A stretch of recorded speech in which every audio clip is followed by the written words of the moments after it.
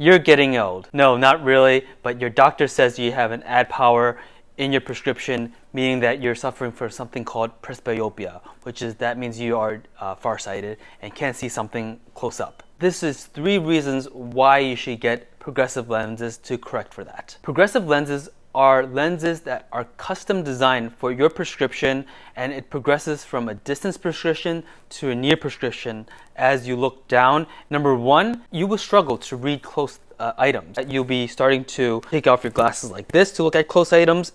Number two, you may choose to get bifocals, which has a little window and line right in there. This is a very old technology and it actually makes you look very old and unattractive. And the third reason is that all the lens manufacturers really innovate at the edges of the best progressive lenses that you get. And they keep on innovating to make it more comfortable and more customized to your viewing needs.